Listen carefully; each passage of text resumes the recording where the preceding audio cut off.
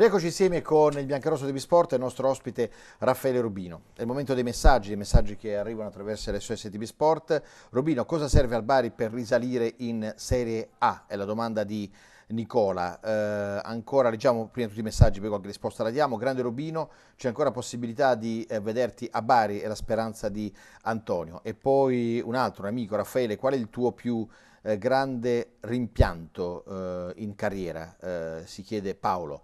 Ancora Raffaele, vedi, uno di noi, si chiama col, col nome, non col cognome. Sì. Raffaele, che tipo di giocatore è Lisuzzo? Io lo vedrei bene nel Bari, eh, scrive eh, un amico. Eh, un altro ancora, un forte in bocca al lupo a Rubino eh, per la Serie A, eh, è Giuseppe che manda questo messaggio. E poi ancora Raffaele, ma eh, se il Bari dovesse eh, richiamarti, chiede, si chiede Mario, ancora Rubino ritieni anche eh, tu come eh, Torrente che eh, il livello del campionato di Serie B sia basso, si sia abbassato per quello che potete vedere quest'anno e in particolare negli ultimi anni, si chiede Giorgio, ancora una domanda, Raffaele quanti anni di contratto è ancora con il eh, Novara, eh, queste le domande. Due, mm, sì. due, anni ancora di contratto, sì. due anni di contratto. Più forte Bertani o Gonzalez? Ma, eh, Diversi come giocatori, Due però. giocatori importanti, ma Christian secondo me ha...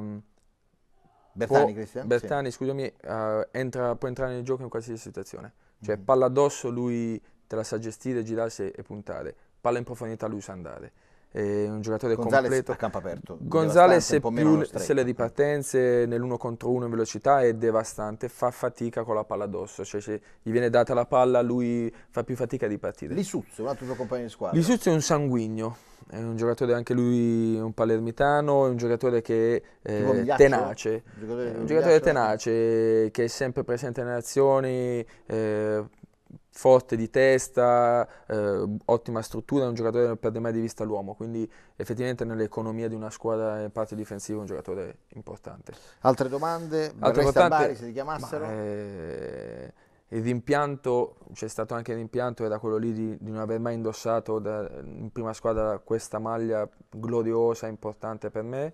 E vedrei sì, eh, purtroppo ormai l'età condiziona tanto anche se però mi avrebbe fatto sempre Però un anno a chiudere la carriera sarebbe la ciliegina so. sulla torta, no? Vogliamo lanciare questa proposta, l'ultimo anno di carriera a Bari, Rubino, insomma sarebbe... Non a svernare, ma sempre coronavirus. No, no, no, no, per carità. Mai. Allora, forse abbiamo una telefonata, pronto? Sì, sono Marcello da Bari. Ciao Marcello, ciao. Un saluto a Raffaele. Buonasera. Voi ricordate che appunto i primi suoi passi sui campi di calcio sono stati in oratorio dai salesiani? Però qualche partita l'ha anche persa. Eh? Succede. Eh, insomma. E se non erro ha anche un fratello Onofrio che giocava a basket. Mio fratello sì. gioca tuttora ed è un vincente. Gioca tutto sì, benissimo. Vincente. Anche tuo fratello ha iniziato sui campi col signor Coviello, non so se sì, te lo ricordi. Accidenti, che no. purtroppo è deceduto qualche certo. mese fa.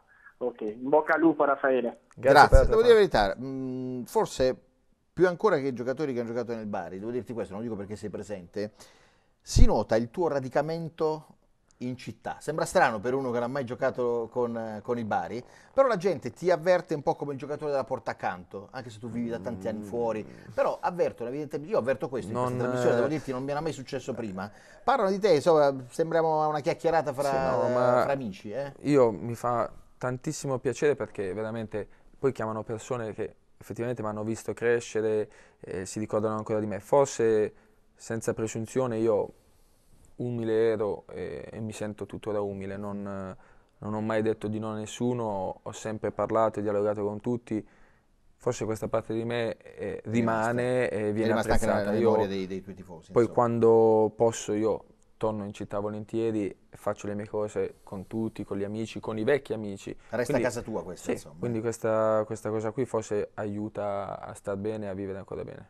C'è un altro amico in linea, pronto? Francesco. Ciao Francesco. Volevo fare una domanda a Rubino. Sì. In virtù delle ultime due stagioni contrastanti del Bari, secondo te è giusto eh, giudicare i giocatori esclusivamente in base all'ultima stagione sciagurata? E poi, eh, secondo te è giusto ripartire da qualcuno della, dell'attuale rosa? Un saluto. Perché in effetti è difficile dare un giudizio complessivo sui giocatori del Bari, perché alcuni hanno dato 10 l'anno prima e 4 l'anno dopo. Eh? No, eh, sicuramente l'annata eh, non positiva condiziona, condiziona i giocatori, condiziona un po' tutto l'ambiente.